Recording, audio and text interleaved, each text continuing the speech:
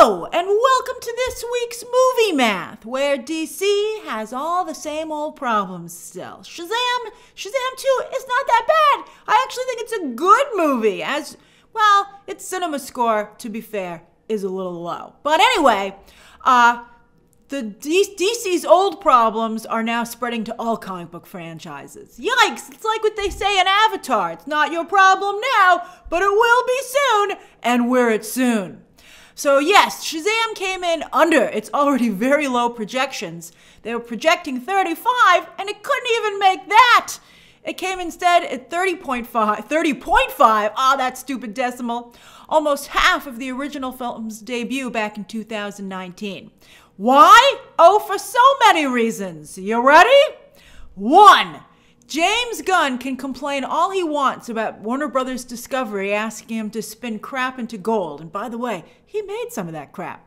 Uh, but bottom line, when he decided to soft reboot DC, he left all these movies in the shade. I'll say it. Uh, I'll say. I'll keep saying it I told you the Snyder Cut would haunt DC, right? I told you that when that just when Justice League came out. Some of you have clipped my my uh, I think it was either my review or spoiler review, and I said that it would haunt Warner Brothers that it would never go away. The Snyder Cut, and uh, I'm telling you, this soft reboot was a mistake.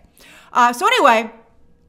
Uh, it's not so. It's not even a goodbye tour. If he was doing a hard reboot, they could be like, "Say goodbye to your favorite characters." Instead, nobody knows what's going on, including the people running the show. Because when Gunn and Safran were on the red carpet for Shazam 2, they said, Do you think you'll make a third one? And they said, Let's see how this one does. Maybe we will. What the heck? And by, by the way, some of you might be like, Well, I guess they're not making a third based on this opening weekend, but you don't know for sure. Again, we don't know. Because what if Shazam 2 blows up on digital streaming? That's very possible. It's a family movie. Uh, will Warner Brothers Discovery, who's already been following Universal's playbook to a degree, decide to do the 17 day theatrical window? Shazam 2 is performing like Uni's little hitmakers. And remember, Shazam movies are cheap to make comparatively speaking, when it comes to blockbusters. So that gives them more incentive to, you know, to continue maybe with the franchise. And then don't forget that there's that end credit sequence in Shazam Fury of the Gods that hints that even if Zachary Levi's Shazam doesn't get another of his own movies, it seems he might be sticking around in other characters' projects because it helps to be vacation buddies with the boss. That's him and Peter Safran over the holiday season. But yeah, DC, even with new leadership, continues to have no clear direction. That's incredible. Other than favors for friends. I mean, speaking about not being definitive, they can't even definitively fire anyone over there. They're like, maybe they'll come back. You don't know. You're like, just throw down the gauntlet, man. Make some decisions. Uh, you know, although, you know, that don't revolve around, you know, James Gunn himself. All right, so anyway, two, Shazam 2 is even more of a family film than the last entry, and while being primarily a family film, limits your audience. Uh, Shazam 2 was down about 10% in the 18 to 34 demographic. The name of the game with comic book movies is to appeal to as many groups as possible, but the 18 to 34 demographic, and to be fair, families, are the ones that really do heavy lifting when it comes to these big blockbusters. That's who you need to come out to get those big numbers. Uh, three, the comic book movie marketplace is simply oversaturated. And what's worse, the quality is dropping, and it's dropping fast. Audiences feel burned and are a lot more reluctant now to dole out the cash for a trip to the multiplex when they know the odds are the movie's probably not even going to be that good. It used to be these movies were surefire. It was fun. You were involved. You were invested. But then also because also the streaming services have added a new dimension with the shows that now you have to watch as well, I think people feel that they're even behind. They're like, oh, I guess, you know, I told you. Again, we talked about this. Don't let people feel they can miss a chapter, because once they do, they feel they can miss other chapters. It's the whole problem that DC also has is that every chapter isn't connected. So it's an a la carte menu over there. Uh, but you know, Marvel, of course, they were very smart to make it a uh, a um, you know uh, a fixed a fixed price meal. But they just have too many courses now, and people are like, I can't eat anymore.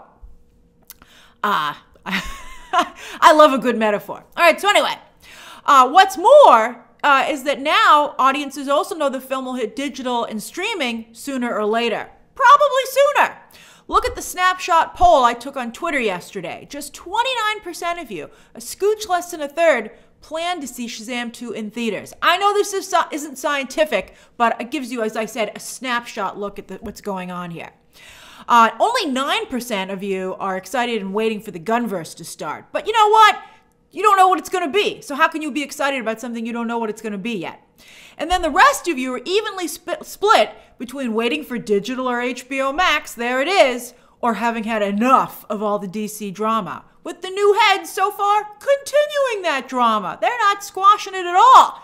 They're, in fact, in some ways, I think, blowing it up. I mean, this past week, as we discussed on the live stream on Friday, was insane. It was like Andy Cohen couldn't believe his, he was like, "Is this my show?" Uh, all right, with the with the theatrical window shortened by the pandemic and getting audiences used to that, uh, so they have to, you know, studios still kind of have to to. I think that's not going to go away. But basically, studios are still like, well, how can we still try and make some money out of this? Because as Bob Iger recently revealed, Bob Iger started all this. Bob Iger's like, my bad.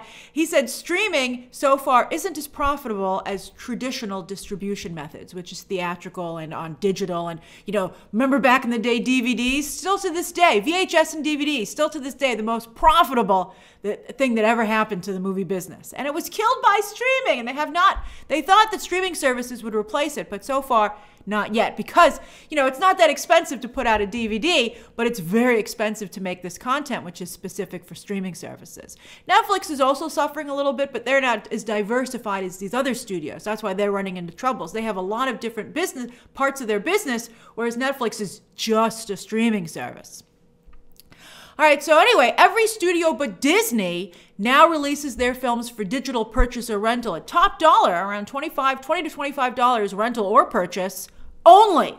And then they wait months sometimes before putting the film on their streaming service or somebody else's if they don't have one. Like Sony still doesn't have a streaming service, so theirs is uh, Netflix. It goes to Netflix for them.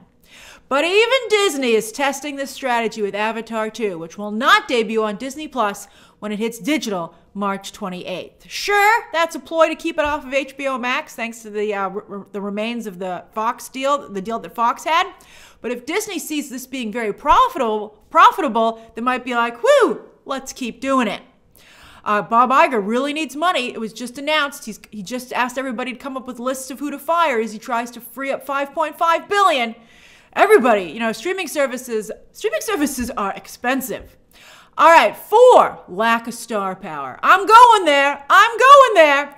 All right, so the first Shazam was held up kind of by Zachary Levi and Mark Strong. Hey, Mark Strong looked cool in the coat. What a great pop collar. And the shades, he looked awesome. And also, audiences always get excited to meet a new character, a new comic book character, most of the time. It doesn't always work, but to some degree, you know, audiences are very hopeful. Uh, but Levi might have done some real damage to his star power, you know, call it, you know, to a degree. I don't know if he was ever really a star, but, you know, I think he whittled down what he had with some of his recent online comments, including an anti vax tweet, which did not sit well with a lot of you. I mean, it sat well with some people, but it seems those people either didn't go to the, bo- either you didn't go to theaters or you're a small group. Uh, some fans exclaimed, in fact, uh, that Zachary Levi might actually be who so many accuse Chris Pratt of being. That was one of my favorite comments I saw off of that. I was like, Chris Pratt's uh, management team should run with that. They should be like, oh, look at that, a glimmer of hope. I'm sure it also didn't help that uh, Zachary Levi so aggressively backed Gunn and Safran. Like, he was foaming at the mouth. You remember that. He was like, guys, just give him a chance. Now, I think on the one hand, people were, you know, like, well, we don't, you know, don't tell us what to, nobody likes to be told what to do. We'll talk about Tom Cruise in a minute. Uh, but anyway, I think DC fans were like, whoa, we're skeptical, if not downright angry about this new leadership. And then also, of course, everyone was like, you're just doing that because you're their friend and you're trying to save your job, man. You know, it's not legit. You know, we, we, we know uh, what, it, you know, we know simping when we see it, right? Uh, and especially, I think people are particularly upset. That's why the soft reboot is a problem because they're not they're getting rid of all the fan favorites, and the people they're keeping for the most part are, is not anyone that anyone was rallying for. They're like, so wait a minute. The one that everybody loves has to go, but your friend gets to stay? That's like the main reason I think that the soft reboot isn't going to work. Outside of Zachary Levi, this is Rachel Zegler's second giant flop Where are her legion of social media fans? That's the whole reason that Hollywood hired her. They were like, wow, look how popular she is online. Surely all these people will buy a ticket. Well, they ain't. They ain't buying tickets at all. Uh, I'd be a little bit nervous about Snow White at this point because you got Rachel Zegler and Gal Gadot. Oh my God, that's starting to look pretty darn bad. They're actually both in this movie. Uh, and I don't think anybody watched Shazam 2 and was like, wow, can we get those two in a movie together? Uh, but you are getting it. Uh, and Helen Mirren and Lucy Liu. Helen Mirren was fantastic in this movie, but clearly they aren't the type of talent to excite fanboys. Sure, Helen Mirren is in the Fast and Furious movies, but she has a very small role there. She's not the one responsible for selling tickets. She's responsible for giving Vin Diesel some acting credibility. As I said before, it's funny. They have a ton of female Oscar winners in the Fast and Furious movies, standing next to all these guys who, you know, can argue, arguably can act. I'm trying to be polite. All right, it's fun. Um, one of my friends pointed that out to me. I thought it was hilarious. Also, as talented as Jack Dylan Grazer is, I'm sorry, Jack, uh, and he's very personable. I love the kid, but he might be one of those great actors that just can't sell tickets. There's a real possibility. Also, he's still a teenager. He's still figuring out who he is, and I would you know, I think that I would take that opportunity to maybe switch it up because the direction he's heading in now isn't working. So he, you know, uh, for instance, I maybe wouldn't go with his uncle's famous hairstyle, right? Or infamous hairstyle. I'd be like, you know what? Maybe that's not for you, buddy.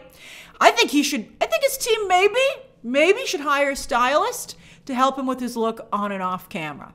I'd be like, I think it's time. You know, I think he's still in a good place. I think everybody who did see the movie was like, he was great in it. I think he's a really, really talented, personable actor, but something's not working. So before he just cements it, he should see if he can fix it. Uh, and then finally, five, the fifth reason, critics and the media overall have turned on superhero movies, joining the rest of Hollywood. Even Angela Bassett got snubbed for her Oscar because a lot of voters said they just couldn't bring themselves to vote for a comic book movie, but just gave one to Joaquin Phoenix recently. So I think they're pretty clear about what type of comic book movie. Uh, Quantumania did even more damage than suspected. But Shazam 2, as I said, is way better than 53%. I don't think the movie deserves to be rotten. Does it deserve to be low the, on the fresh scale? Maybe it does. Because the first movie got an A cinema score and the second got a B plus, which to be honest is the lowest cinema score a movie can get before a studio should freak out. Uh, anything lower than a B plus, unless your horror movie is like, uh oh. And even B plus is like, ah, we messed up a little bit. So yeah, that's disappointing. I would have preferred an A minus. So that's not that's that's not good. And again, Cinema Score is very accurate when it comes to how the audience really feels. Whereas fans, as I've said before, can manipulate something like a Rotten Tomato score. Uh, and once audiences are burned out, well, there's blood in the water for critics and the media. Whereas a lot of, well, in the past, non DC movies have gotten a pass, right? Uh, I don't think that's going to be the case anymore, again, with all this blood in the water. And also a feeling of as these movies genuinely do get worse and the people running the franchises get sloppy and I think rest on their laurels, I feel we have uh, a real breaking bad, bad moment of they just can't keep getting getting away with it. So I think that's an, I mean that's one of the reasons I gave John Wick. I know some of you are so upset about that, but you haven't seen the movie. When you see John Wick 4, I think you'll understand why I was like, I'm sorry, but one good hour in a three hour movie is not a fresh tomato, man. I don't care if that good hour's at the end. In some ways, that's even worse. Because, you know, if you want to go use the bathroom and get some snacks, I'm telling you, before he gets to Paris is the time to do it. So, what the heck is Warner Brothers Discovery going to do? They've got three more of these this year, all coming out this year. Then a year and a half break before Gunn Superman Legacy kicks off his new DC, and interestingly, and perhaps fittingly with him writing and directing, uh, July 20, July 11th, 2025. You know, he's like, it's not the Gunverse, but he's kicking off where he's like front and center. What if all these remaining movies crash and burn? Warner Brothers Discovery is clearly worried about that, with the odd move of having Tom Cruise, of all people, endorse The Flash on Friday, the day that Shazam 2 opens, and two months before The Flash hits theaters. Why didn't Tom Cruise endorse Shazam 2? Maybe they showed him both movies and he's like, I'll, maybe they showed Shazam 2. He's like, I'm not endorsing that, but come on, it was a good movie. Maybe Tom Cruise is like, I can't say that's the movie we need right now. So he decided to endorse The Flash. But I don't know. If he wasn't going to endorse Shazam 2, hold his endorsement till, I don't know, closer to the release date of The Flash? I mean, who's even going to remember it at that point? And is Tom Cruise an influencer now? Is he adding that to his resume? Saying this is the kind of movie we need right now? Wasn't that his Top Gun Maverick and Avatar 2? How many movies do we need right now? Despite this being an obvious marketing ploy, and also if I were Paramount, by the way, Tom Cruise's current home, I'd be nervous that Zazie was trying to poach my star. Uh, Paramount doesn't have a ton of them. They have uh, John Krasinski and Ryan Reynolds also. But Tom Cruise is their crown jewel right now, and Zazie's after him. Remember, Zazie tried to poach Feige. Couldn't get him. Now he's after Cruise. He's like, watch the Flash movie. I'd be like, Tom, look at the Flash drama and look at the Flash ad campaign. Think of those things too, buddy. Uh, but I think it's insulting also to the general public that they would be swayed by what movies Tom Cruise likes. Who goes and looks at the marquee and says, you know, I wonder, what movie do you think Tom Cruise would buy a ticket for? Tom Cruise would do well to remember that he's in a cult and everyone, for some reason, has decided to give him a pass right now. Heck, I'm giving him a pass because I'm liking his movie so much. But he's right on the edge. Everyone could turn on him in a second. Jimmy Kimmel was already zinging him hard at the Oscars this year when Tom Cruise decided not to show, even though Top Gun Maverick had several nominations and one for Best Sound. Stay humble, Cruise. Don't spend all your capital on someone else's movie. It's not even your own studio's movie. What's he doing over there? I mean, you got to convince us to see Mission Impossible Dead Reckoning, which comes out just a month after The Flash. What should Warner Brothers Discovery do, right? Honestly, the soft reboot, I don't think they're going to be able to recover. And it's too late. I mean, I guess it's not quite too late. They really, sh- it was a mistake. It's like the Snyder Cut all over again. And I honestly feel at this point the answer is just to let Comcast Universal buy this thing as soon as possible, which is 2024. That's the earliest they can start, start shopping around Warner Brothers. Uh, and just have Comcast cancel everything and then see if they can convince Matt Reeves to let them build a cinematic universe off of the Batman. Because that's the, that's the answer. That's the answer. It's very frustrating to see it right there and we can't do it. You're like, it's right there. And we're like, Matt Reeves said no. And you're like, Matt Reeves does not run DC or Warner Brothers Discovery.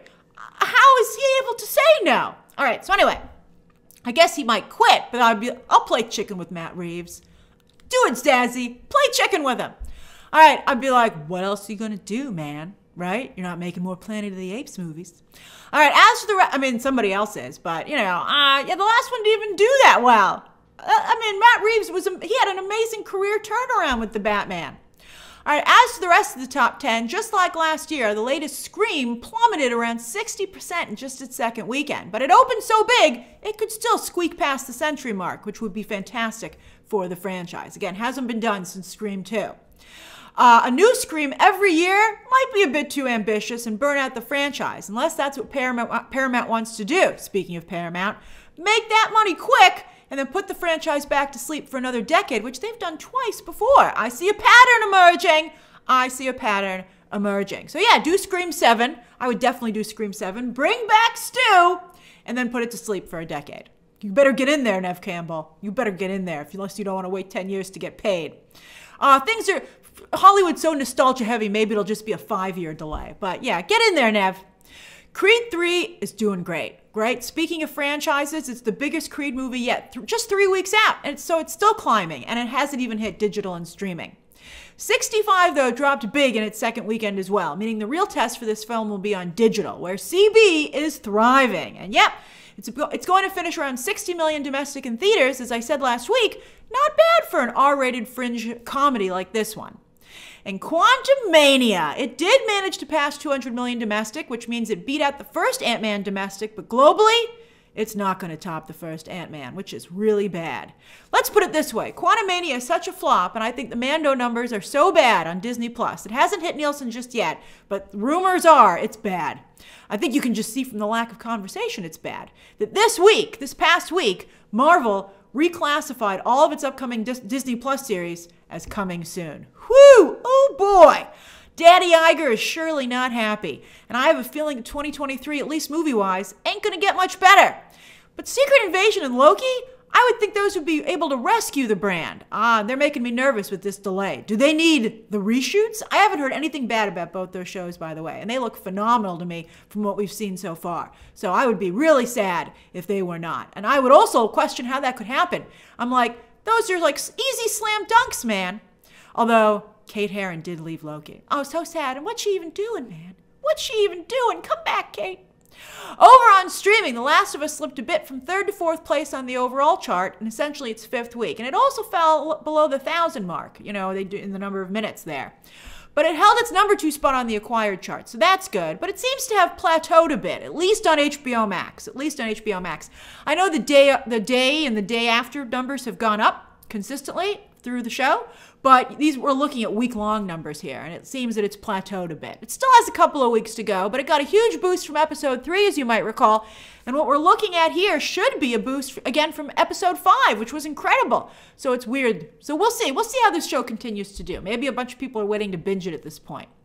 Uh, so anyway, you continue to dominate the overall and originals chart for the second week in a row, while The Woman King debuted on Netflix and did pretty good. Pretty good. At least it's uh, at least over on the movies chart, it's number two behind Reese Witherspoon and Ashton Kutcher's Valentine's Day movie for Netflix here in its second week.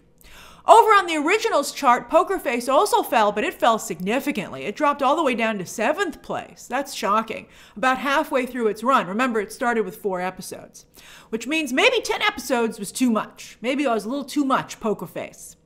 Uh, on Netflix's own charts for just last week, Idris Elba got a nice win here with the recent Luther movie, right, which in, was in theaters for just a week. Solid numbers. It's not huge, but it's nice. Well, German rom com Far Away, which actually happens to be mostly in English, is a mini hit, mini hit, with fans saying it's like Mamma Mia without the music. And before you say, who'd want to watch that? It's number two. And with series, You Season 4 Part 2 debuted and put the show back up, to, uh, back up top, although it's not huge. It, it wasn't as big as Part 1. I don't think the split season here worked, particularly because the two parts were so close together.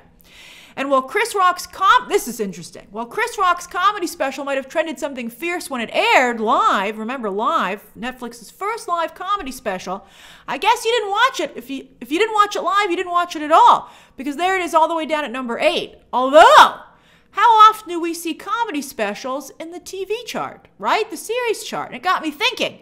This is just basically one episode against so many other episodes for the series it's supposed to be competing with here. So isn't it really a movie? A very short movie. Yet, when you look at this, when you look at the numbers, if you were to put this on the movie chart, even at about an hour or so, it would be number three. So Netflix should treat comedy specials as movies, and they'd be getting a lot more of attention on these charts. And on iTunes, everyone is checking out Brendan Fraser's now Oscar winning Turn in the Whale. CB, which just debuted this week on digital, is number two. And good for Storm Reid, hot off of her The Last of Us episode, who's missing is holding steady in the top 10. Uh, see, she was in uh, A Wrinkle in Time, which was a huge bomb, huge bomb, destroyed David DuVernay's career, 100 million plus flop. Uh, but Storm Reid didn't give up, and look how well she's doing. Good for her! Plus, fans are getting ready for John Wick Chapter 4, hitting theaters this weekend. Yes, as for this coming weekend, John Wick Chapter 4 has the weekend all to itself, especially now that Shazam is DOA. Tracking for John Wick 4 has an opening with 60 to 70 million, which is incredible for an R rated movie, a movie with a three hour runtime, and it would set a new record for the franchise. Woo, that would be phenomenal. Uh, I, I, again, I feel bad being the party pooper, man. I feel bad. I feel bad. I'm gonna see it again on a premium screen. But uh, yeah, I'm looking forward to seeing the third act. The rest, uh, maybe I'll feel better about it. Uh, but really, that's the only movie coming out this week, even on digital and streaming. It's a John Wick party, man. It's the only party in town, so that makes it even better. If you want a party, you got to go see John Wick. As for series, it's also very light this week. Netflix drops The Night Agent on Thursday, and then on Friday, Hulu has up there, up here, uh, a musical romantic comedy. Uh, we'll see if anybody watches that. All right, so anyway, if this week seems kind of quiet, that's because, well, first of all, remember, Mando and Ted Lasso are currently airing. But next Sunday, you know, Last of Us just wrapped, so this is a little calm, calm between storms, because next Sunday, Yellow Jackets returns on Showtime. That's a hot show. That's a hot show. And then the final season of Succession starts on HBO, HBO Max. Oh, HBO gives you one Sunday off, and then they're back in it, baby, and it's going to be great. It's going to be appointment television. So if you haven't watched the first two seasons of Success, first three seasons of Succession, you got a week. Uh, so yeah, if you got anything you need to catch up on, this is the week to do so. So that's this week's movie math. What have you been watching? What do you plan to watch? And what do you think of Shazam 2's box office? Can anything be done for DC, these remaining movies, and what's coming up? Share your thoughts down below, subscribe today, and of course, as always, you can check out some more videos right now.